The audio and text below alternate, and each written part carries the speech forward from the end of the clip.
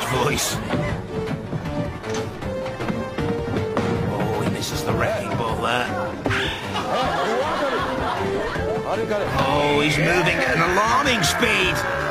Onto the seesaw roundabout thingy. There's eh? the wrecking balls now. Watch yourself, laddie. Oh! Oh, can he recover? I think he can. Well done to the rope. Yes, he's made it. You the man. This one's bouncer heads. There's the wrecking ball coming down. The most sadistic show on television.